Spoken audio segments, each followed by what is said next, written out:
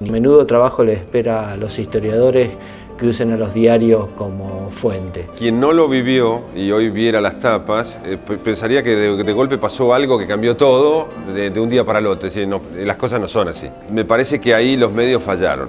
Ámbito alertó puntualmente de esa situación, de que se estaban eh, estudiando medidas del Ministerio de Economía y Crónica fue el único diario allá por el 14, el 13 de diciembre que destacó que había revueltas. En realidad, eh, el gobierno de la Alianza tuvo una muy breve, uno podría decir, primavera mediática. ¿no?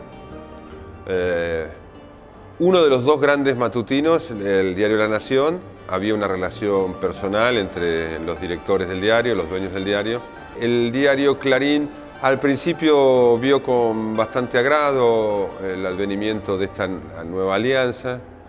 Eh, para después lentamente ir despegándose del gobierno. La agenda que plantearon aquellos los medios más importantes, sobre todo los diarios, que son los que tienen capacidad en este país para plantear la agenda, era la supervivencia del modelo de convertibilidad. Las empresas periodísticas como empresas tomaron la decisión de no informar al respecto. Eh, uso las palabras, recuerdo las palabras de Guareschi, que creo que es sincero, al decir que no supo o no pudo alertarle a sus lectores. No es fácil predecir una revuelta social. El 19 a la noche empiezan los, los, cacerolazos, cuando no solo eh, el Gran Buenos Aires empieza a estallar con los saqueos, sino la clase media de Capital Federal eh, empieza con los cacerolazos. El día 20 a la mañana se había calmado, yo me acuerdo que llegué a casa de gobierno, este, no sé, a las 7 y media, 8 de la mañana, y estaba la plaza bastante tranquila. Lo que pasa es que empezaban a venir de a poco gente aislada a cacerolazos, había grupitos sueltos y el presidente todavía estaba en Olivos, eh, no había llegado a Casa de Gobierno y cuando empiezan a concentrarse eh, gente aquí a casa, eh, en Plaza de Mayo, la orden era que el presidente no podía venir a Casa de Gobierno hasta que la plaza esté desalojada. Trabajabas en continuado y a micrófono abierto porque pasaba de todo y todo el tiempo.